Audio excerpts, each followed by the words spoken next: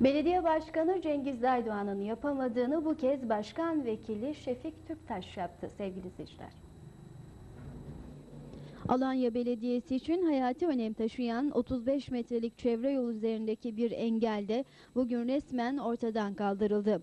Alanya cezaevi yakınında bulunan ve çevre yolu açım çalışmaları için büyük engel olan Dirsera, Başkan Vekili Şefik Türktaş'ın girişimleriyle yıktırıldı. Başkan Aydoğan'ın defalarca sera sahibini yanına çağırarak seranın yıkılması gerektiğini söylemesine rağmen sera sahibinin buna razı olmadığını ve nihayet dün gece sera sahibiyle görüşen Şefik Türktaş'ın ricaları üzerine yıkımın gerçekleştirildiğini belirten belediyeye yakın çevreler çevre yolu için tek engelin Sak Köprüsü olduğunu bildirdiler.